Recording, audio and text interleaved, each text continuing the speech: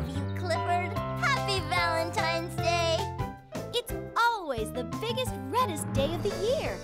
Clifford, Cleo, T-Bone, and friends are tickled red about coming to Netflix with the most fun, the most love, and the biggest heart. So be on the lookout for hours of big red fun on Netflix. Happy Valentine's Day.